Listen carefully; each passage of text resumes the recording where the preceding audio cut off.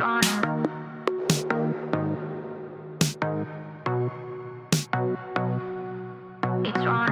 can be easy holding fast to our dreams. City to city, moving at the same speed.